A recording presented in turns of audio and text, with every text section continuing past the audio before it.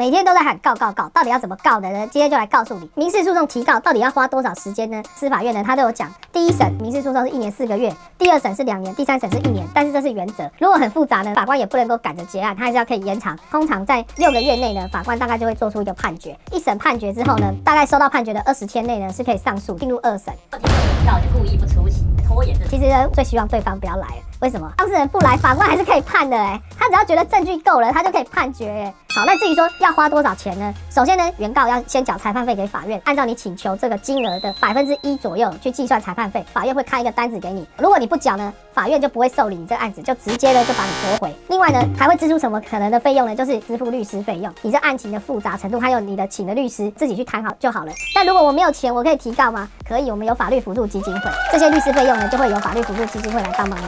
好，所以呢，我们提告一个民事诉讼呢，需要花的时间跟费用大概就是如此，简单做个介绍，谢谢。